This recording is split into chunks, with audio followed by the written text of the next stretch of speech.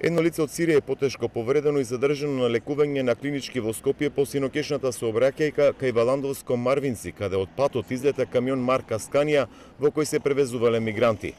Во сообраќајката 35 мигранти се повредени, од кои 24 со возила на брза помош биле транспортирани во Гевгелиската болница.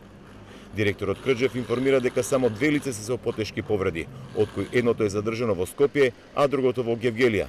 Останатите се префрлени во транзитниот центар Винојук. По направените прегледи, РТГ снимање и други исследувања констатирано е да од нив 22 лица се со полесни телесни повреди, по смисла на површински рани, контузии, полесни скршеници кои по санацијата на нивните повреди се препратени во транзитниот центар Винјук. Две лица со потешки повреди се препратени до ургентен клинички центар Скопје, кој пациентот со повреди на граден кош и лице е задржан, додека другиот со повреда на торекален пршлен е вратен со препорака за понатамошен хоспитален третман на хируршко отделение во Обшта болница Гевгелија.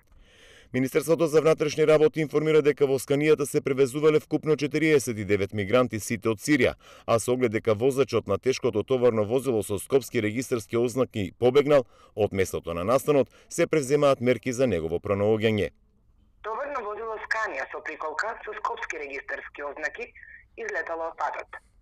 Возачот се дал во бегство, а на лице место се пронајдени 49 мигранти кои според нивно кажување се од Сирија. За настанот бил запознан јавен обвинител од основното јавно обвинителство Велес, а увид на местото извршила екипа на полициска станица во Ландово.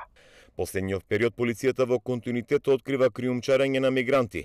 Последниот месец откриени се над 200 мигранти во југоистокот, само во два случаи, кај Каменот во Богданци и Нова Метла кај Гевгелиско, откриени се 160 мигранти кои се превезувале во камиони.